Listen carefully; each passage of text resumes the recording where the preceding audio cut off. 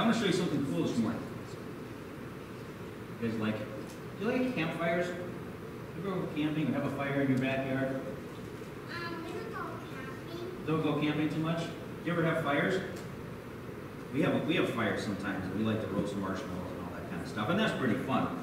So I'm gonna light a fire here this morning, just a little candle, but I'm gonna talk about something else about fire. Jesus talks about how fire is kind of like faith. Let me tell you what faith is. Faith is trust. Trust is something that we have when people tell us they're going to do something, that they're going to do it. Like your parents. Do you trust your parents? If you trust that your parents are going to take care of you, that they're going to pick out nice clothes to get you dressed in? Yes, right? Trust your parents, because when they say something, they do that. They help you. Faith is trust. And we trust our God, don't we? When our God tells us something, we trust Him. Like, for instance, when God tells you, I will never leave you, I will always be with you and help you. Do you think He will? Yes, absolutely. We trust that. We have faith in that. One of God's greatest promises. He says that because He died on the cross to take away our sins, someday we're going to get to live with Him where? Right? And we trust that more than anything. Faith is like trust. When God speaks to us, all of a sudden we have that trust, we have that faith, we have that fire. And it makes us warm, it makes us happy, it shows us, like light does, where we're going to live. Now, the problem is that sometimes the devil, or even sometimes this world, and people in this world, try to blow out our faith. And then we can't see, then we're not warm, then we might be scared. But God promises that as long as we listen to His Word, His Word is like fire. And when we listen to His promises, He promises again, Lauren, I'm never going to leave you. Glenn, I'm going to live with you forever in heaven. The more we hear that, He lights that faith up. And we can see again. And we're warm again. And we're happy again. As long as we listen to His voice. Which is why we talk about it all the time. We talk about what He's done, how He loves us, how He died on the cross, how we're going to live with him forever in heaven, because the more we do that, the more we trust him. Right?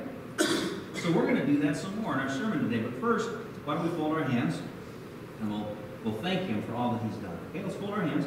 Dear Jesus, we thank you for loving us so much that you gave up your life so that we could live with you forever in heaven. We ask that you help us to remember that. As we listen to your voice, help us to remember all that you've done for us, all that you promised to do for us so that we love you in return and that we trust you always. We ask this in Jesus' name. Amen. All right, thanks for coming up. You go see your family. We will continue by singing verse 3 of our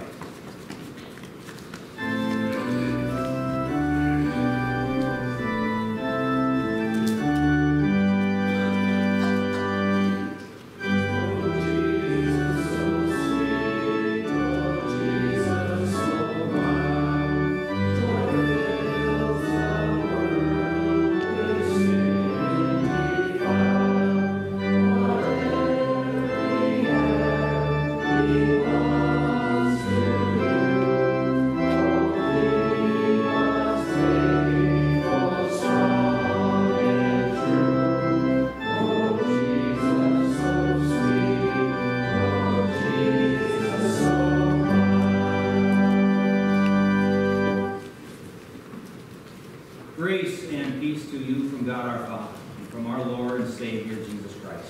Amen.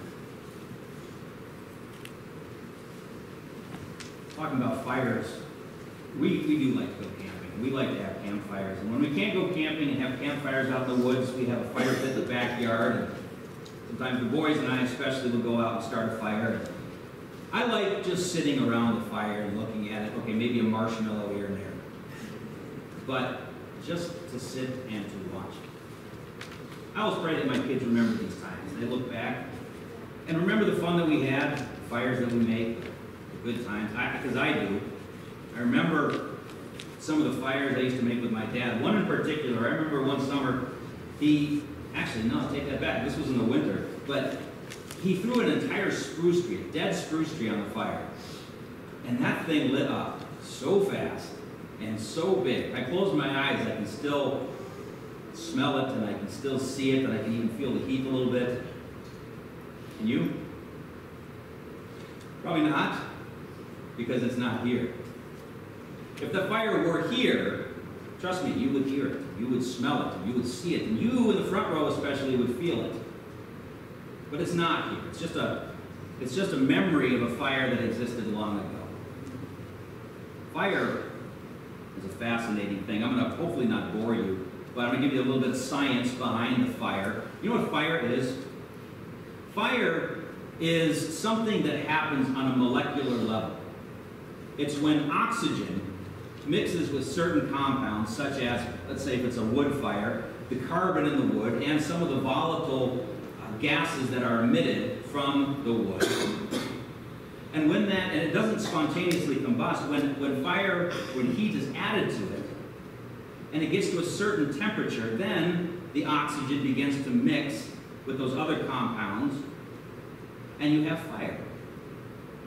Now you can't see that because it's on a molecular level. It's molecules and atoms that are so small you can't see it. But what you can see is what it produces. You can see the flame, you can see the light, you can feel the heat, and you can smell the smoke. You can't actually see the molecular reaction, but you can see all of the things that come from it. Thank you, Professor Thiesfeld, 11th grade chemistry. but I bring this up to you today, and I hope it makes a little bit of sense because, in a way, it, it very closely represents faith. Faith is something you can't see. Only God can see the heart. Faith exists in the heart. But you can see what faith produces. And it is the lesson that Jesus teaches us today in the epistle of James, chapter 2, where he talks about faith, which is God's greatest gift to us, is seen in what it produces. Faith produces confidence, faith produces love, and faith produces action. This is what faith does and what faith looks like in the life of the world. I'm going to read you this, this last section, taken from James chapter 2, verses 14 to 18. What good is it, my brothers and sisters, if someone claims to have faith but has no deeds? Can such faith save them? Suppose a brother or sister is without clothes and daily food. If one of you says to them, Go in peace, keep warm and well fed, but does nothing about their physical needs, what good is it? In the same way, faith by itself, if not accompanied by action, is dead. Someone will say, You have faith, I have deeds. Show me your faith without deeds, and I will show you my faith by my deeds. This is God's word. God's lesson for us today is on faith. And for the sake of visual and because I'm a child at heart, I like to see fire. We're going to show a little fire today. Faith is like fire. In fact, Paul encourages his young friend Timothy to fan into flame that gift of God that was given to him through the Holy Spirit. Faith. Faith is like a fire, and it produces many things. First of all, and granted, our text doesn't really address this very fully, but it is one of the great aspects of faith, and that is that faith produces confidence. I want to read to you another passage which definitely complements this. On the one level, it may seem to contradict this, but we're going to get to that. Knowing that no scripture contradicts itself, but this is taken from Ephesians chapter 2. It is by grace you have been saved through faith. And this is not from yourselves. It is the gift of God, not by works, so that no one can boast. For we are God's handiwork, created in Christ Jesus to do good works, which God prepared in advance for us to do. one beautiful truth here is that it is by grace we have been saved through faith. It's not anything that we do. And that's so important because as we look at our lives and we are honest with ourselves, you're honest with yourself, I'm honest with mine, we do not live up to God's standard of behavior and of thought and of love. We don't. And God is very clear that in order to have His love, we need to. We need to be holy. But it is God's grace that sent Christ into the world. It's God's grace that caused Him to take the blame for all that we've done. And God says, Believe me, trust me, and you will live. It is that faith that God gives us that assures us that we are forgiven. It assures us every day that despite ourselves, we have that beautiful relationship with God that guarantees us a place with Him in eternity, but also right now. That faith gives us confidence. Faith gives us confidence. But faith is often confused with knowledge. Faith and knowledge are two very different things. For instance, I'll give you an example. Um, boating. That season is coming sadly to an end. But at the beginning of each season, we kind of wrestle with this same thing. We wrestle, especially when my kids were little, with jumping off of the boat into the water, one of our favorite pastimes. But as my kids were, were little and didn't know how to swim, it was a scary proposition. And even now, sometimes I make them wear life jackets when, the, when it's rough or when we're on the ocean. And, the thought of drowning is a scary thought. But when you have that life jacket you are allowed to have confidence to jump into the water and know that it will carry you. Now, knowing that a, the life jacket will carry you and trusting a life jacket will carry you are two very different things.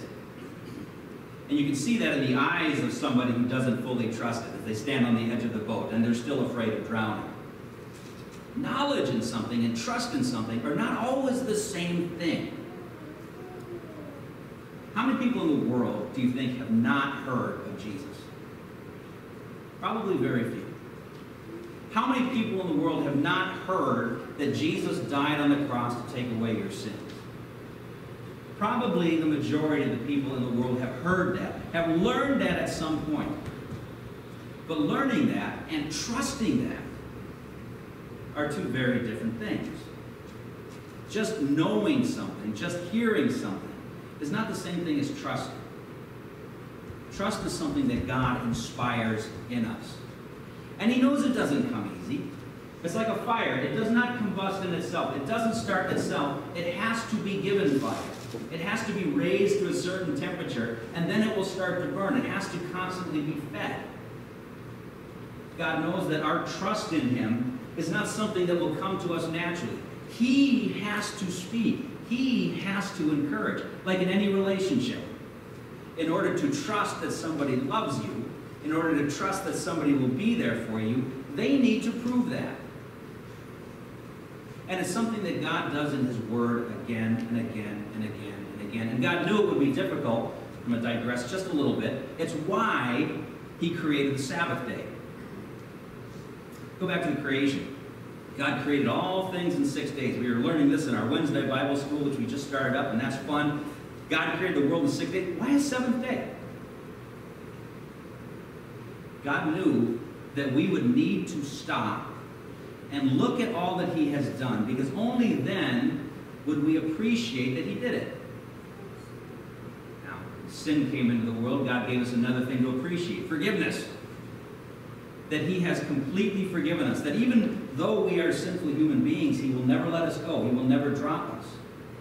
But we need to hear that on a regular basis in order to believe it. Just knowing something that you learned as a child and trusting something are two different things. In order to trust that God loves us, we need to hear His voice. We need to hear Him speak. And when we do, then we have that confidence. We have that confidence that He will never leave us. It's the single greatest gift of the confidence to know that we are His and will always be His. The confidence is not the only gift that God intended us to have. He didn't just want to restore a relationship where we knew that He loved us.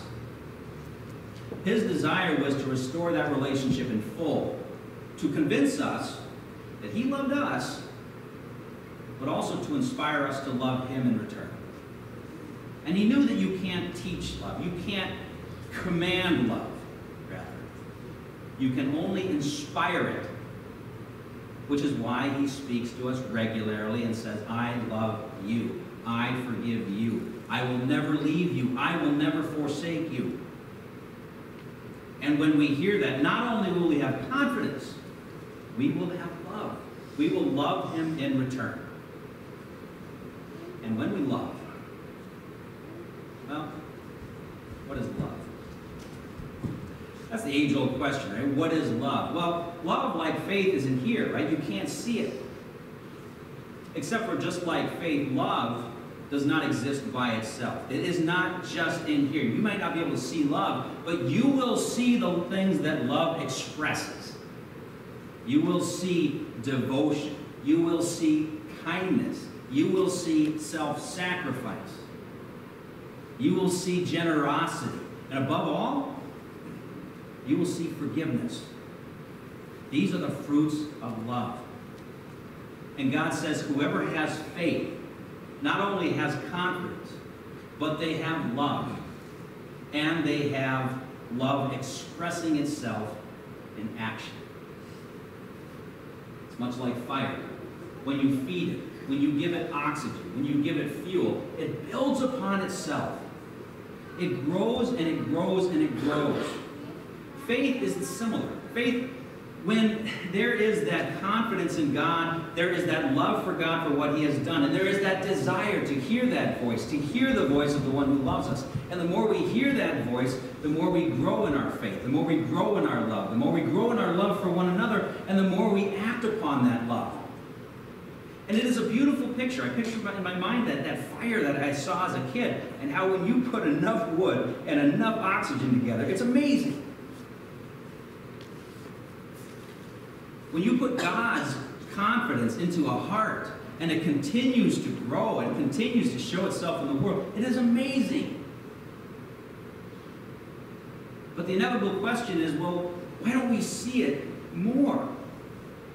Because maybe we don't see it more. Maybe I would like to see that more in my life because right now maybe I'm not a blazing inferno. Maybe I'm a mediocre fire or maybe just a flicker. Why is that? Well, fire, as much as it will consume and as much as it will burn, is also capable of being snuffed out.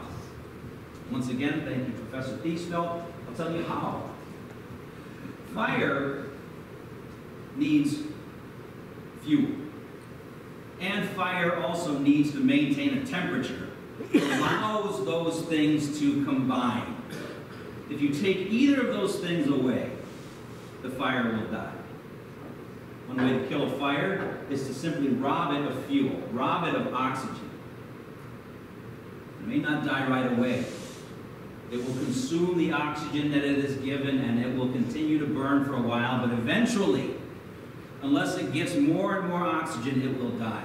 Faith. Faith comes from hearing the message. The message is heard through the Word of God. Or simply in a relationship, if you want to be convinced somebody loves you, they have to constantly con convince you. They have to tell you. They have to show you. And if they don't, then you won't believe it. Faith will eventually die. Now, there are so many things in life that try to pull us from the fire, try to pull us from the fuel, to rob us of that fuel that strengthens faith. And if you look at your life, you will probably recognize them.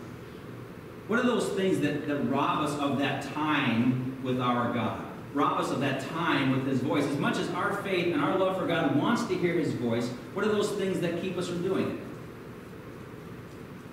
Well, maybe it's something like work, which is a necessary thing. Maybe it's something like hobbies. Maybe it's the fun that we want to have. Maybe it's the chores around the house. Maybe it's a desire simply to hold onto the pillow for another hour or two. Maybe it's Twitter or Facebook. Maybe it's my friends. No, you can think of a thousand different reasons, and all of them good, maybe. But if all of them take the time that we could have with our God, eventually, that knowledge and that confidence that our God gives only in His voice will die. And you know that Satan knows this, which is why he's very subtle and he puts good things in front of us to rob us of that time with our God. But it's not just the robbing of oxygen that can destroy a fire. It's not just the robbing of our time with God that can put out a fire. There's another way to put out a fire. It's by cooling the fire so that it does not have the energy that it once did. It does not have the energy that it needs to have to continue to burn. One way to do this is by taking the cold energy of my fingers and transferring that to this candle. And consequently, transferring the heat from that candle into my fingers. but by making that candle cold, it will die. Faith desires to express itself. Faith needs to, to express itself. Jesus says, If you love me, you will love my children. And if you believe in me, you will love me. Faith has to express itself. And it wants to express itself.